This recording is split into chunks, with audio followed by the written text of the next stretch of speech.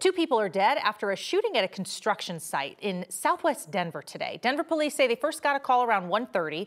They responded to a construction site in the 8500 block of West Belleview, just off of South Wadsworth. They found two people had been shot. A man died at the scene. A woman was taken to the hospital where she later died. Police say they're still trying to figure out exactly what happened, but they believe that a site manager arrived at the site, found those two people inside, potentially a burglary. Police say there was some kind of confrontation. The site manager was assaulted and then shot those two people. Police say that manager is cooperating with the investigation. Nobody has been arrested.